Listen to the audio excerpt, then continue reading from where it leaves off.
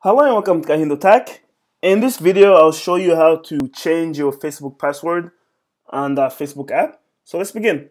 First, we'll open up the Facebook app. Once you have it open, you want to go to your settings. To do that, look on the bottom right corner. Do you see those little three bars? Tap on those.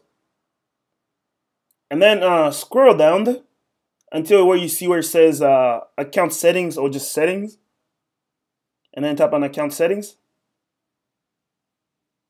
Anyway, let me go back. So tap on settings, then account settings. But on the Android, I believe it's just, it says account settings, okay?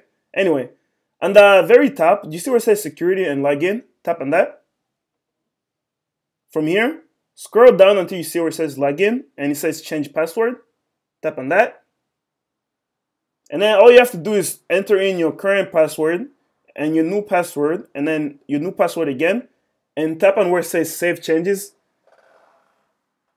After you have done that, you'll be able to change your password. It's pretty simple, but if you have any other questions or comments, please leave them, leave them in the comment section below. If you liked the video, give it a thumbs up and definitely subscribe to my channel for more videos like this. Thank you for watching.